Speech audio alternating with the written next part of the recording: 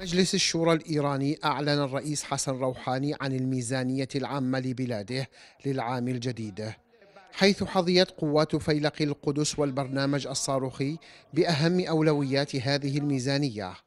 ونقلت وكالة أنباء إيرانية بأن ذلك جاء بحسب أوامر المرشد الأعلى علي خامنئي الذي يولي اهتماما بالغا في البرنامج الصاروخي الإيراني إلى جانب تبنيه الإشراف المباشر على العمليات العسكرية لجناح فيلق القدس في الخارج والذي يقع تحت قيادة قاسم سليماني.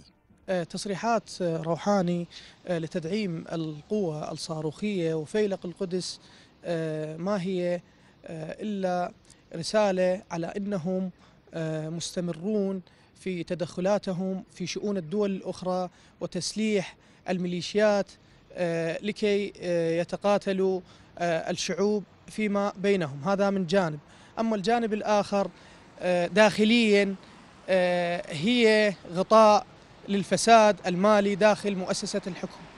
الجلسة البرلمانية شهدت أيضا مشادات كلامية بين النواب إثر اتهام روحاني لحكومة أحمد نجاد بالتسبب في انهيار مباني مشروع مساكن مهر نتيجة الزلزال الأخير الذي ضرب البلاد.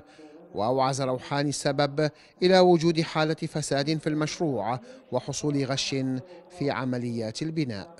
أما تصريحات روحاني فيما يخص الرئيس الإيراني الأسبق أحمدي نجاد أو السابق أحمدي نجاد هي استمرار لمسلسل محاولات اعتقال أحمدي نجاد لأنه بدأ بكشف الفساد وفضح ما يسمى بالقادة الإيرانيين بدءا من المرشد الأعلى ونزولا إلى رئيس الوزراء ومسؤولين نافذين في الحكومة الإيرانية.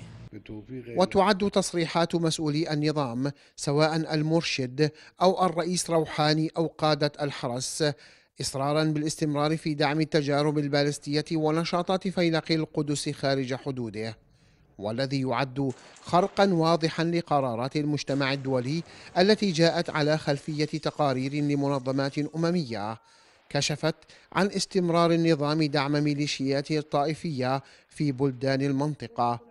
بتلك الصواريخ التي باتت تهدد أمن المنطقة برمتها.